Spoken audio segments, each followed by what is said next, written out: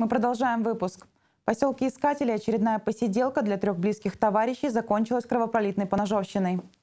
Во время застолья между молодыми людьми разгорелся конфликт. В результате один из них внезапно взял в руки нож и начал нападать на своих друзей. Жертв, к счастью, удалось избежать. Правда, одного пришлось срочно госпитализировать в реанимационное отделение. С места происшествия подробности расскажет Олег Хатанзейский.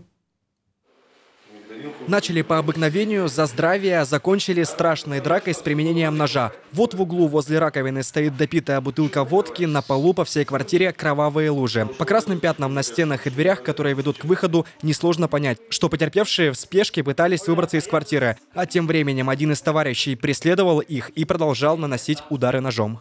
Трое приятелей употребляли алкогольные напитки, и в результате словесной перепалки между ними завязалась драка. Один из них нанес ножевые ранения обоим своим товарищам.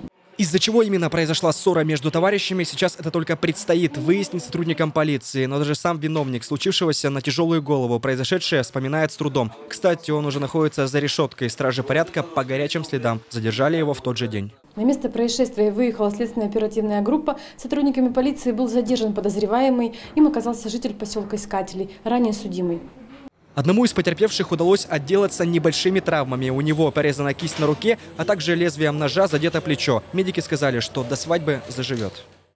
Получить комментарий от врачей нам пока не удалось. Впрочем, известно, что один из потерпевших уже находится дома. Его выписали, у второго дела намного хуже.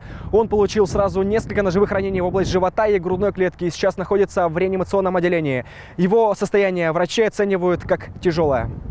Подобных жестоких случаев в Ненецком округе, отмечают полицейские, уже не было давно. За умышленное причинение тяжкого вреда здоровью своему же другу задержанному грозит реальный срок до 8 лет лишения свободы. Олег Хатанзийский, Александр Дуркин, телеканал «Север».